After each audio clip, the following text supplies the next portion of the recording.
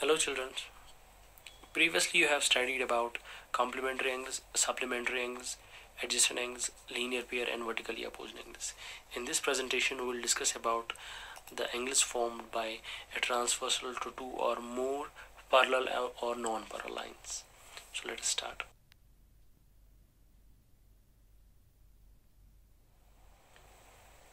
A transversal is simply a line which intersects two or more lines at distinct points.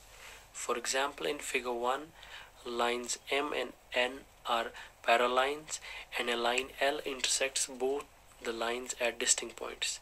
So the line L is a transversal here to these given lines. In figure 2, lines A and B are non-parallel lines and a line L intersects these lines at distinct points so again L is a transversal in this case.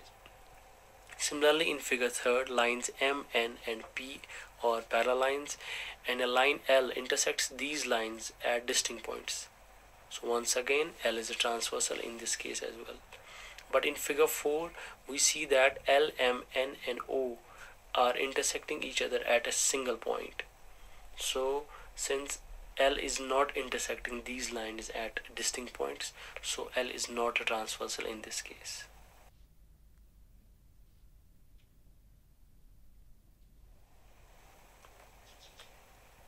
In both figures L is a transversal to the lines M and N. In first figure total 8 angles are formed by the parallel lines and a transversal. Also in second figure the same eight angles are formed by the non-parallel lines and the transversal. In both figures, angle 3, angle 4, angle 5 and angle 6 are called interior angles since these angles lie in between two lines or in the interior of the two lines. Similarly, angle 1, angle 2, angle 7 and angle 8 are called exterior angles since these angles lie in the outside of the two lines or in the exterior of these two lines. So they are called exterior angles.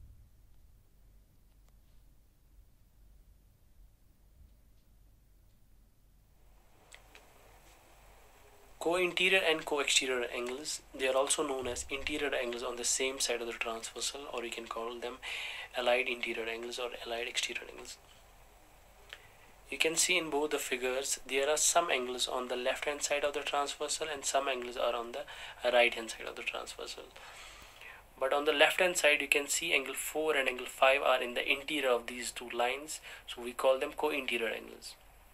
And angle 1 and angle 8 they are in the exterior of these two lines and they are also on the same side of the transversal. So we we call them co-exterior angles. Similarly you can find the other pairs of co-interior and co-exterior angles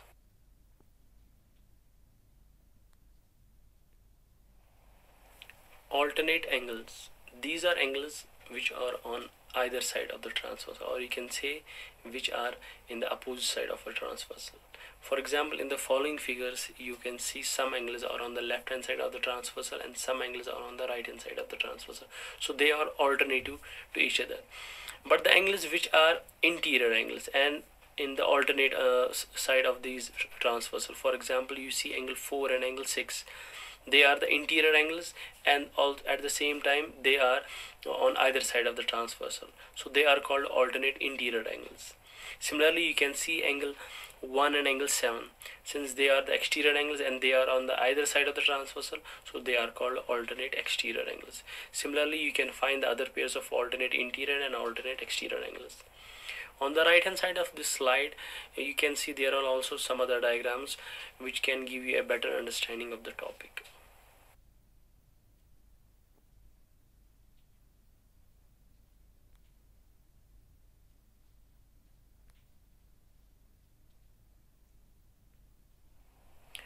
corresponding angles.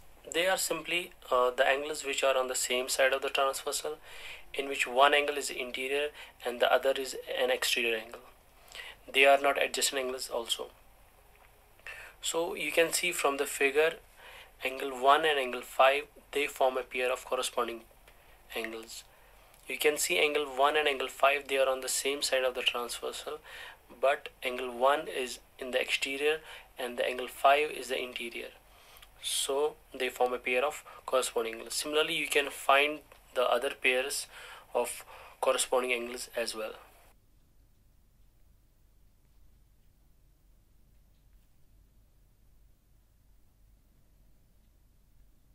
So far you have understood what are alternate angles and what are corresponding angles.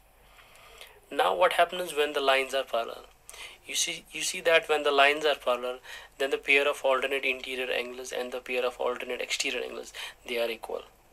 You can see in the first figure angle 4 and angle 6 they form a pair of alternate interior angles. Since the lines are parallel so these angles will be equal. Similarly in exterior pair also angle 1 and angle 7 they form a pair of alternate exterior angles and they will be equal as well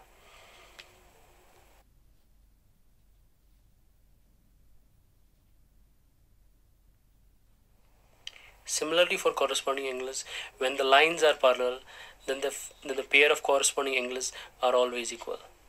You can see angle 1 and angle 5, they form a pair of corresponding angles, so they are equal. Similarly, the other pair of corresponding angles are also equal.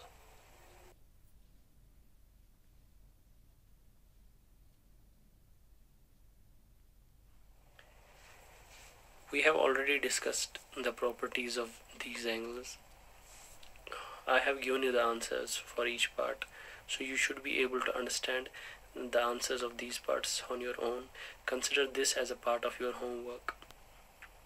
But it should be noted that each part can have multiple answers. For example in part A we have to write corresponding angles. You should know that in the following figure it can have four different pairs of corresponding angles. But we have to mention only one pair as it has been asked in the question so that's why each part can have multiple answers.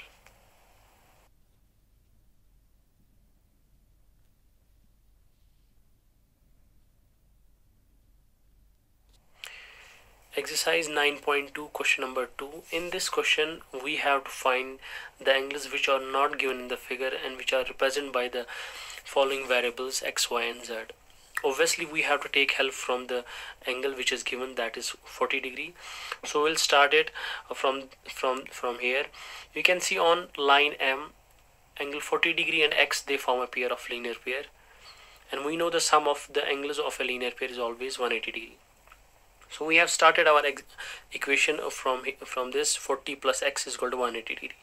So after transposing the uh, 40 degree on the right hand side we get the value of x which is 140 degree uh, we already know that when two lines are parallel then the pair of corresponding angles is always equal. As you can see angle x and angle y they form a pair of corresponding angles. Since they are on the same side of the transversal and, and in which x is in the exterior and y is in the interior. So they should be equal. But we have already found the value of 1 x which is 140 so therefore y will also be 140 degree. Now in order to find the value of z you can see uh, angle Z and angle Y they also form a pair of linear pair. So their sum should be also 180 degree. So you can see Z plus Y is also is equal to 180 degree. Since we have already found the value of Y which is 140 degree so we will substitute that value in place of Y. So after transposing that 140 on the right hand side we will get the value of Z which is 40 degree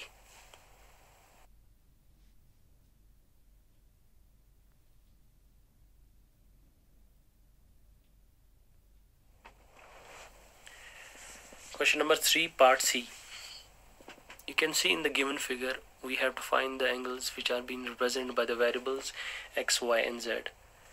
So we'll start with z. You can see from the figure z and 110 they form a pair of vertically opposite angles. So z will be equal to 110 as we know that vertically opposite angles are always equal. We know that if the lines are parallel then a pair of alternate exterior angles are equal as you can see in the given figure line L is parallel to line P and there is a transversal M over there. So we see that Y and 110 degree they form a pair of alternate exterior angles. So they should be equal. So we can write angle Y is equal to 110 but you can also approach another method over here. You can see uh, Y and Z they form a pair of corresponding angles since we have already proved that z is equal to 110 so that way also we can say y is equal to angle z and z is equal to 110 so that way also you can get the value of y which is 110 so you can approach any method over here. Now how to find the value of x? We see that on the line p x and y they form a linear pair. So we know that that the sum of angles of a linear pair is always 180 degree so we have written the equation over here x plus y equal to 180 degree. Since we have already found the value of y which is 110 degrees so we will be substituting that value of 110 in this equation. So we'll write x plus 110 equal to 180, 180 degree. So after transposing 180 110 degree to the right hand side and simplifying we get the value of z that is 70 degree dear students you have a homework of question number 3 a part and b part. Since c part has been done by me if you have any doubt or any question you can contact me. The contact details are provided in the coming slide